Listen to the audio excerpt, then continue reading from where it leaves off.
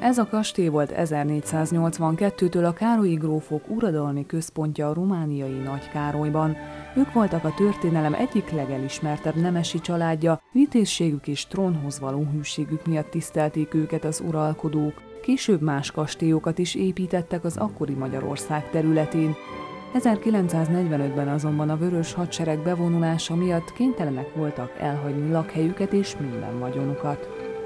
Károlyi László nagyapja például a leggazdagabb nemes volt a 30-as években, mégis üres zsebbel kellett elhagyni a Magyarországot. Ennek ellenére mégsem a vagyon elvesztése viselte meg őket, amikor el kellett menekülniük. Nem az volt nekünk a nagy szomorúságunk, hogy elveszít, elveszítettük a birtokokat, vagy tulajdonképpen a kastélyokat, mert ugyanis csak, csak egy ágyban lehet, lehet aludni, egy szobában lehet, ez a teljesen, de nem ez volt a szomorú, kérem. Az, kérem. az volt a szomorú, hogy amikor elöntük az országot, sok, nagyon sokáig nem tudtuk a, az emberekre, akik nekik dolgoztak, akik az a, a, a, a alkalmazottakra, nem tudtunk róluk. róluk. Ez, ez, ez volt a nagy szomorúság. Nem az, hogy nem tudom, mit is, mit vesztettük el, vagy nem, hát minden elment.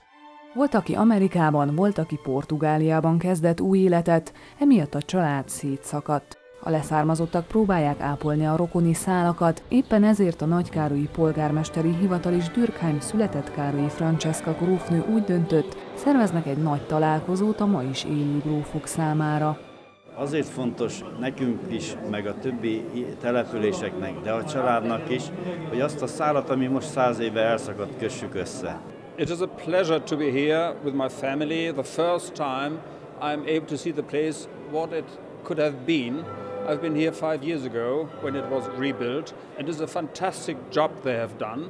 I think it is great to have the family here, and all the various branches of the Carrier family are here today. A rendezvényre szinte minden leszármazott eljött, közülük már senki nem nevelkedett a Nagykárolyi kastélyban, viszont, mint mondják, otthon érzik magukat.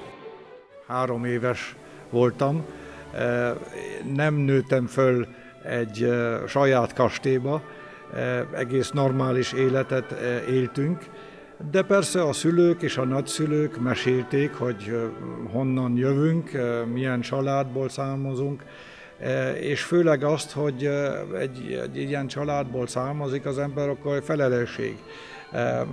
Nem csak rófozni kell, de főleg dolgozni kell, és megmutatni mindenkinek, hogy az ember valakit, valamit elér az életbe. Tényleg lehet látni a Károly családban nagyon erősen, hogy Károly Sándor óta minden generáció óriási sokat tett az országért. Óriási sokat. Én tudom például, hogy ők 25 templomok például építettek, iskolák építettek, kórházak, gyermek otthonnak, a szintén erdélyi nemes családból származó Kenyeres Erzsébet és férje Károlyi László a rendszerváltozás után engedélyt kaptak, hogy visszaköltözzenek a Fóti kastély egy kisebb részébe. Azóta azon munkálkodnak, hogy visszaszerezzék a szétszóródott családi örökségből származó festményeket és személyes tárgyakat, hogy abból egy galériát hozzanak létre a látogatók számára. A nagykárolyi találkozó beszélgetéseinek többek között az értékek megmentése is fontos témája volt, ezért azoknak a Kárpát-medencei településeknek a polgármestereit is meghívták, amelyeken hajdan Károlyiak éltek. Ezért hozták létre a Károlyi Sándor alapítványt is, hogy a család által épített ingatlanokat felújítsák, személyes tárgyaikat restaurálják. Az egy privilégium, hogy Károlynak születtem, és ezt újra életre tudom hozni és továbbvinni mert az alapítvány abból adódott, ami Sándor és Barkóci Krisztina felesége együtt csináltak. Többek között az alapítvány segítségével sikerült felújítani a Károlyi család könyvtárát a Kaplonyi Ferences Kolostorban, és létrehozni egy fotókiállítást a család régi fényképeiből. A grófok felmérték azt is, hogy milyen állapotban vannak a felmenőik által hátrahagyott épületek és intézmények, az ekkori uradalmi központ hangulata előhozta az idősebbekből a régi emlékeket, amikor igazi gróf módjára éltek. Nyáron és tavasszal nagyon sokat mentünk édesapámmal lovagolni, Később, aztán mikor hősebb lett, akkor otthon, nem tudom, olvastunk együtt, vagy, és akkor apám kitalált mindenféle társasjátékot, de az is nagyon, nagyon jó volt, mert olyanokat talált ki, hogy uh, ki tud, hárman voltunk, de sokszor unokatestvérek is voltak. Ki tudja mondjuk a A betűvel a legtöbb híres orvos mondani. A rendezvény keretében a családtagok ellátogattak Kaplonyba, ahová a grófok családi templomot, Ferences kolostort és családi kriptát építettek. Mi atyánk, aki a mennyekben vagy.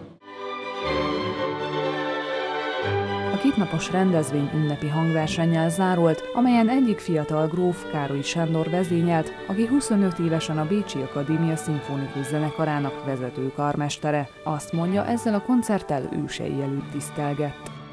Habe ich niemals ähm, als Druck empfunden, ähm, aus einer großen Familie zu kommen, sondern es war immer eine positive ähm, äh, Ehre und Verantwortung, Leute, Menschen gehabt zu haben in der Vergangenheit, die Großes geleistet haben.